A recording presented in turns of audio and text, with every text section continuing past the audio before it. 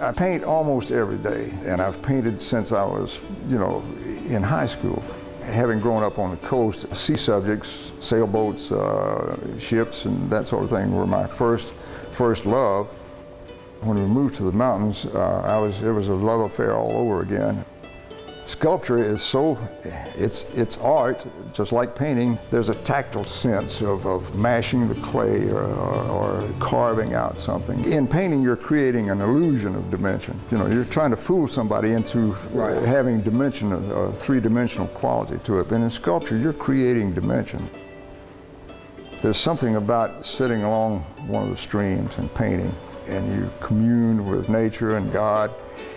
You I, I, always come back home feeling like I've been in church all day. Jim Gray Galleries, the Church Mouse Gallery in the arts and crafts community.